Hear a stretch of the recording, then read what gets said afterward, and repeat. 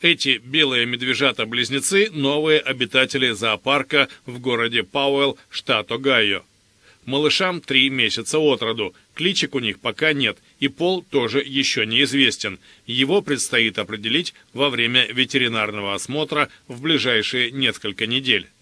Пока они развлекаются под бдительным присмотром матери-медведицы по имени Аврора – Детеныши осваиваются в окружающем мире и пробуют новую для себя еду. Например, могут утащить у матери кусочек мяса.